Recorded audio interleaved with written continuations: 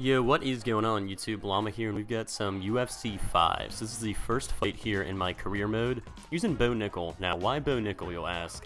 I honestly have no clue, so I was going in to do a career mode. I usually import a fighter for the first time. I didn't really want to create my own. I just wanted to of play the game. Um, looking at the roster, I saw welterweight, and I was like, oh, Bo Nickal's in here. Why not? I usually, um, don't know if anyone else does this, but I usually, the first career I do in these games, I'll usually use, like, Khabib or a really good wrestler, but I was like, I got a better roster here, so let's mix it up. So the first fight is this little outdoor one in a cage. It's kind of uh, throwback to some street fights. Shout out to uh, Kimbo Slice. His weren't in a cage, but he uh, kind of started off the uh, YouTube MMA street fight thing. So a um, little bit has changed from UFC 4 to UFC 5. Now UFC 4, I really didn't like it all. The career mode had a lot of problems with it.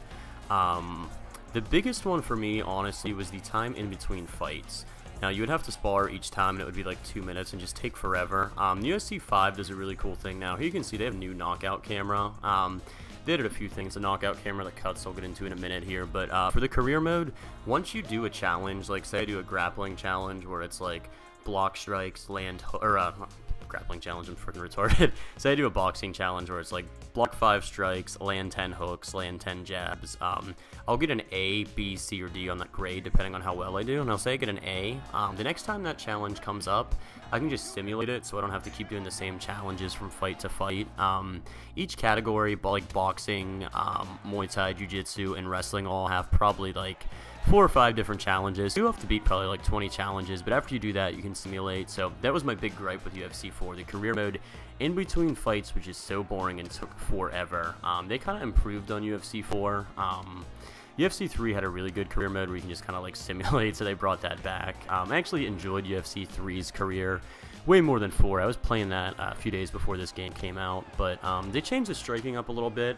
I actually like the new controls. I wasn't sure what they were the first few games, that's why I actually didn't know how to take anybody down. Um, didn't know how to take them down and didn't know how to clinch. Like I said, I was used to the UFC 3 controls, but uh, takedowns feel really good. Clinch feels really good. Um, I'm a fan of the new striking. You pretty much will hold the L1 button down to uh, throw hooks. Just um, A and X for straight jabs, but hooks hold L1 down. Uh, for uppercuts, you hold R1 down, and then depending on which hand you want to throw it with.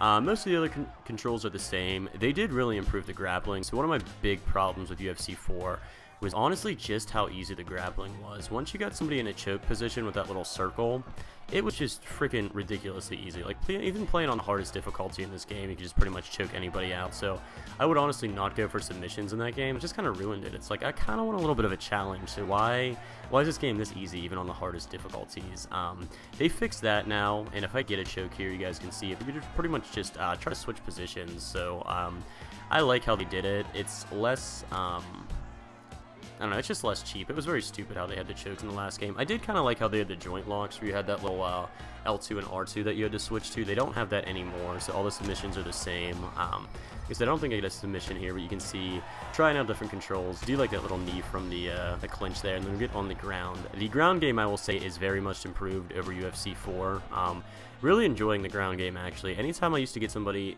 on the ground in previous UFC games, I would kind of just hold side control, wait for him to tire out, and just elbow him in the face. This one is actually fun to get in a full mount. Uh, different grappling positions and scrambles. Uh, knee on belly is a good one, too. So really enjoying this game so far. Um, I did buy the special edition, which was like 90 bucks or something with EA access.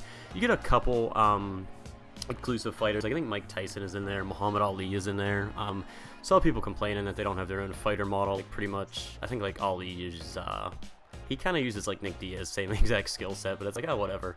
So here you can see once I get to this arm bar, I'll pretty much just push up again on the arm bar, and he will either tap out or he can escape. I actually lost my first fight because I didn't know how to escape out of the, uh, out of the submission, so it's kind of embarrassing, but pretty much you'll start out, you'll have a few backyard fights, and then these like little carnival festival fights, same as UFC 4, you'll get a shot on Dana White's Contender Series, and if you win that, you go right to the UFC. I actually lost that because I didn't know how to defend submissions, because I am uh, straight retarded.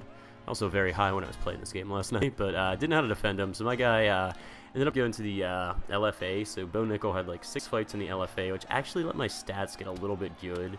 So uh, my dude's in the UFC now. I keep saying my dude, like it's not actually an actual fighter, but uh, our boy Bo is in the UFC now, and he's like a three star out of five. That is one thing I wish they would have fixed. Like, why five star ratings? It's so stupid. Just give us ten star ratings. But um, they didn't change that, so uh, player overalls is based out of 5. And then there you can see, like I said, I do like the, uh, the new striking animation. It took me a while to get used to it. Another thing here is I am awful with southpaw fighters, yeah, uh, I don't know if I switched stances a lot this fight, but I've been doing that just to get kind of like a normal stance. Um, definitely helped me learn the controls, so that's one thing, like, with the new controls, I'll say, if you're not good with southpaw, um, pick a guy who's got a normal stance. I actually didn't know Bo's stance when I picked him. I was just like, it seems like a cool name, so I'll pick him. There you can see, was that a little uppercut knockout? That guy just got dropped there. So, uh, fun little KO there. And here's the new screen where it'll, like, show the uh, slow-mos of the knockouts. Another thing you have is the cuts, too. You can see they're very cut open. Um, cuts is actually a new stat in your little health bar. Alright, what's up, everybody? So my uh, audio recording just stopped. The video actually just ended, so thanks for watching, guys. Like I said, um, it's kind of high when I was playing this game last night. It's not the greatest. Uh, gameplay and learning the new controls, but I will upload some more videos. I'm actually going to continue with my career with uh, our boy Bo Nickal here. I might start a new one and do some live commentary on it, but um, just wanted to get something up. Like I said, it's just game worth the money. I'm having fun with it so far. If you're a UFC fan, it's pretty fun, but I've only played like an hour, two hours so far, so quick little review of the game, and I will have way more videos to come, so thanks for watching, and I will catch you guys later. Alright, peace.